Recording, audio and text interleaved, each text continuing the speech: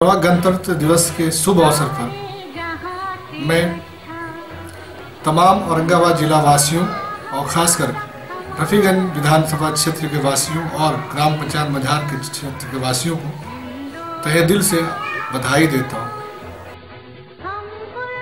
गणतंत्र दिवस के शुभ अवसर पर पूरे औरंगाबाद वासियों को लोक जनशक्ति पार्टी की तरफ़ से हार्दिक शुभकामनाएँ एवं बधाई।